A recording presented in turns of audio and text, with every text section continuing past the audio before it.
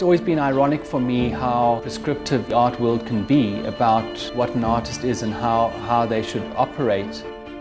For me personally, I think artists should be free to do whatever they like, whatever their motivation is for what they want to do. My name is Marco Cianfanelli. I'm an artist. I pretty much uh, lived and worked in Johannesburg my whole life.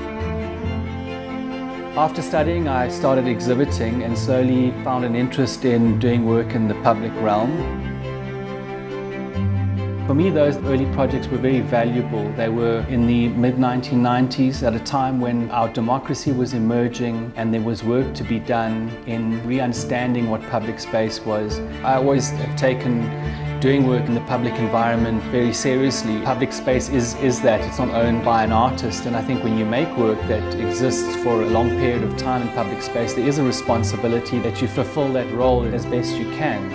It wasn't a frivolous role or one of just beautifying spaces but actually about engaging with context, what a place is and who the people are that use those spaces and context as a premise is very important for me in the work I do.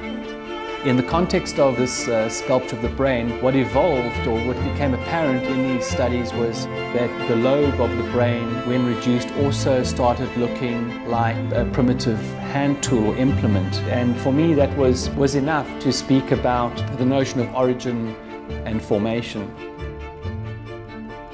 It was amazing for me to see how difficult it is actually to find organizations that you can donate to and feel comfortable that what you're donating is going to make a real difference. With Art Angels, they are so clear about what they're doing and specific that it makes one feel comfortable that you are potentially making a difference.